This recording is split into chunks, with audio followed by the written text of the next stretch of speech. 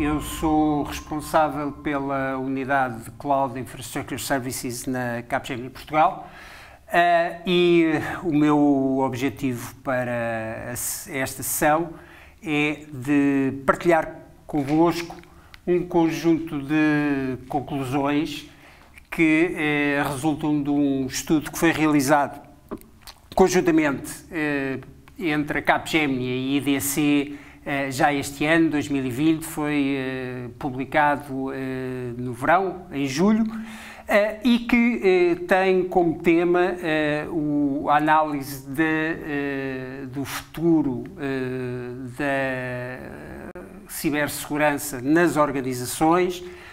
bem como, em particular, do papel que cabe ao, ao Chief Information Security Officer neste contexto de transformação acelerada em que, eh, em que nos encontramos. Um, o estudo, eh, ao incidir sobre eh, o papel do Chief Information Security Officer, desde logo avança com um conjunto de atributos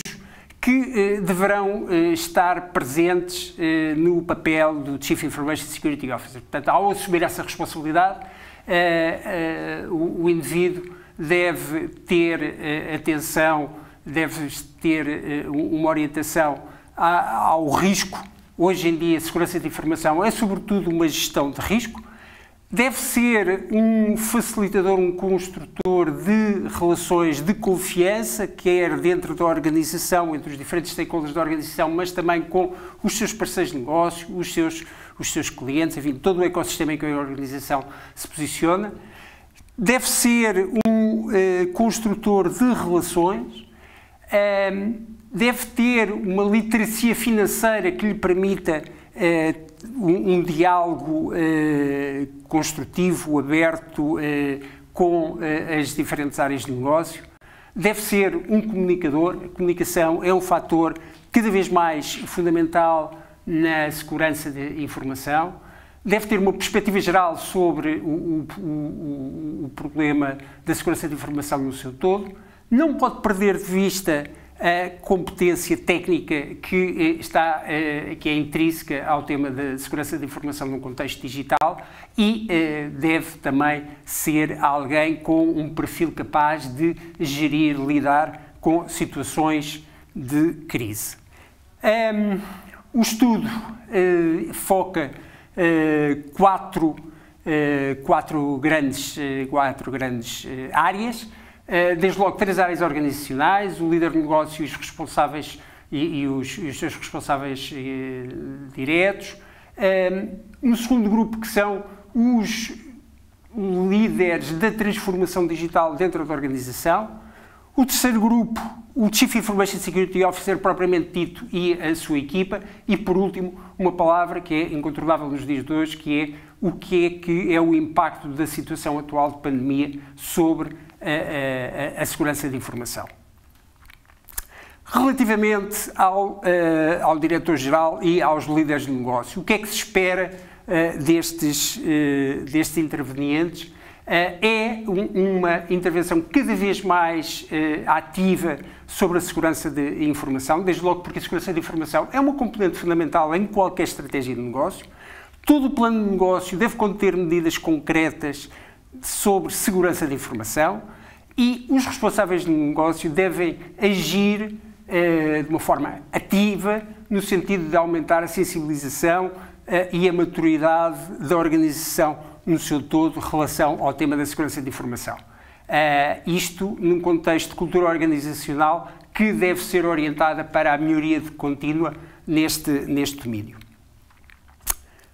Em relação aos líderes da transformação digital, o tema da transformação digital hoje em dia é incontornável em qualquer geografia, em qualquer setor de atividade uh, e é, é um, um, omnipresente também a importância da segurança de informação uh, sobre esse, uh, esse transformação digital. Desde logo, a transformação digital deve ser entendido como um a segurança de informação deve ser entendido como um catalisador da transformação digital. Um, qualquer iniciativa deve, estar, deve estar enquadrada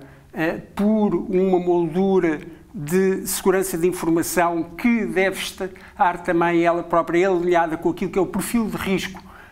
da organização em relação à segurança de informação e eh, todos os processos de negócio, todos os produtos da organização, no contexto desta transformação digital, devem, eh, desde a sua eh, fase de inserção, eh, ter presente o, os temas de segurança de informação. a cultura de transformação eh, organizacional tem que ela própria estar apoiada também numa evolução contínua da segurança de informação, isto porque uh, quer o contexto de negócio, quer os, as superfícies de exposição uh, dos processos, sistemas, quer os vetores de ataque, estão também eles próprios em constante transformação.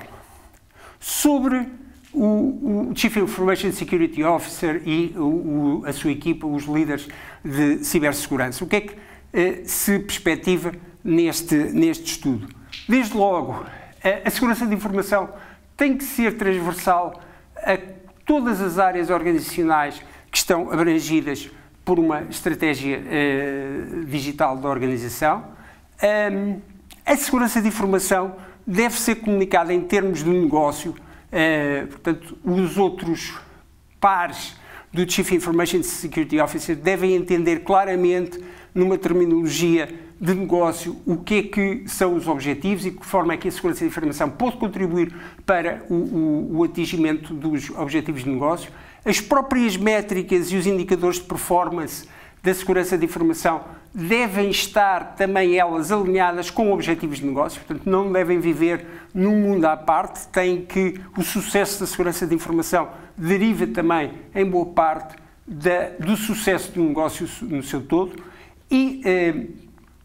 o, o, a política de segurança de informação tem que ser como que uma extensão natural, tem que derivar de uma forma, uh, uh, de uma forma uh, natural daquilo que é o modelo de governo da organização no seu todo. Por último, um, é incontornável nos dias que vivemos uma menção àquilo que é o, o, o estado atual eh, de, da pandemia, qual é o impacto sobre uh, a, segurança de, a segurança de informação. Um, desde logo, uh, é, é, é, um ponto-chave que a prioridade de qualquer organização, de qualquer responsável pelo, por, essa, por essa organização, deve ser a proteção das pessoas, quer sejam os seus colaboradores, quer sejam os seus parceiros de negócio, quer sejam uh, outros os, os clientes, outros, uh, uh, outros indivíduos com quem haja uma interação direta no desenvolvimento das atividades de negócio e a proteção do negócio também em si mesmo. hoje em dia existem com certeza N fatores de ameaça ao negócio que foram potenciados, que são potenciados pelo atual estado de pandemia que vivemos. Contudo, o atual contexto é também um potenciador de eh, uma, um universo de oportunidades de transformação digital. Aquilo que de facto eh, nós, eh, o contexto que nós estamos a viver é também um contexto de transformação acelerada. Há quem, quem avance com a métrica que em determinadas atividades, nomeadamente no comércio eletrónico, em três meses se avançou o equivalente a cerca de 10 anos em termos de maturidade dos modelos de negócio e de uh, comércio eletrónico em particular. Um, o trabalho remoto e o processamento uh, de uh, cargas de trabalho em ambientes cloud tornaram-se hoje em dia uma realidade normal, uma realidade omnipresente no, no, nosso, no nosso contexto económico e social, e isso, obviamente, traz oportunidades, mas traz também novas ameaças. Mais uma vez, o, o, a superfície de uh, exposição a ataques cibernéticos é muitíssimo maior, os, os vetores de ataque uh, têm proliferado, quer em, em, número, quer em sofisticação, e, portanto, isto é uma realidade incontornável para a segurança de informação. Por último, uma palavra para a confiança, que, sendo cada vez mais um ativo fundamental para o sucesso uh, das organizações, tenha segurança de informação um dos seus alicerces.